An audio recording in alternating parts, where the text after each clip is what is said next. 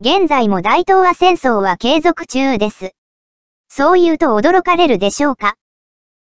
大東亜戦争というより、大航海時代に端を発する重症主義、植民地主義の後処理完了に向けた動きが継続中が正しいかもしれません。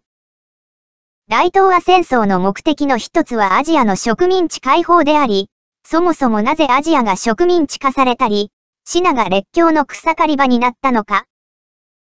遡っていくと、工業化は大量生産をもたらし、消費地としての植民地が必要になり、その植民地を欲した国民が主役の国民国家たち。さらに遡っていくと、国民国家を生み出す市民への富の蓄積が進んだのは農業技術の進展や大航海時代による貿易と欧州圏内の発展。市民の富蓄積のきっかけは、モンゴル帝国が東西をつなぎ、欧州までもがユーラシア交易圏に含まれるようになった東西物流の拡大。歴史は繋がっているので、どんどん遡っていくことはできるものの、それをすると結局農耕が始まる以前の人類の遺伝子レベルまで行きます。と考えると、とりあえずは大東亜戦争が継続中ということでいいのかもしれません。一般的な大東亜戦争を境に生じたことは、連合軍の国連としての稼働。米ソ両極体制の成立と冷戦の始まり。日本との戦いに疲弊する国民党を尻目に力を蓄えた中国共産党の伸長と中華人民共和国の誕生。台湾と中華人民共和国の二国家併存。満州、ウイグル、チベット、内蒙古独立問題。南北朝鮮の分断。どれも重症主義、植民地主義がなければ、起こっていなかったことであり、各地域のあり方つまり国体を変えてしまっています。国体のあり方として正常でなければ、正常に戻す方向に物事は動くことになります。動かすのは当然国体勢力です。本部であるワンワールド国体が司令塔です。先ほどのリストで解決しているのはどれでしょうソ連が崩壊し、多極化したという点だけです。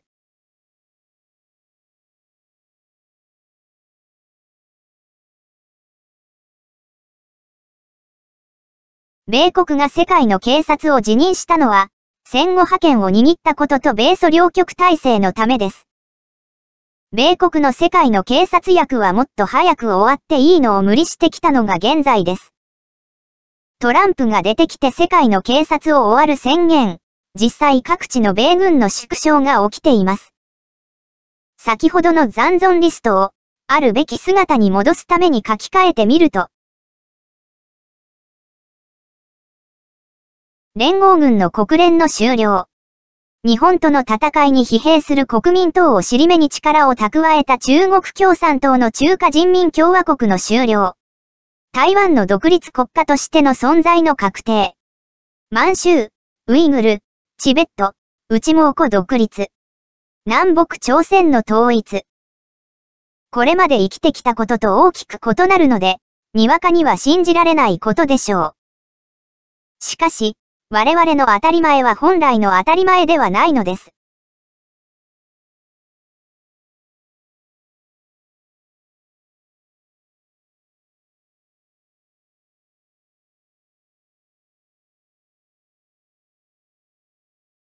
独立解放軍については、動画説明のリンク動画で説明しています。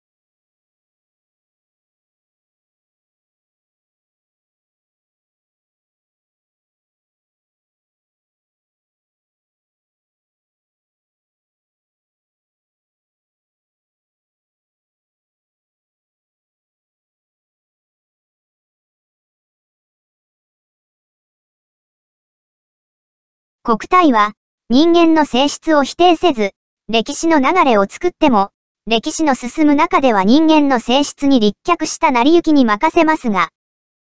その成り行きの先の現在の各地の姿と本来の各地としてあるべき国体の姿の乖離は、いずれ是正する必要が出てきます。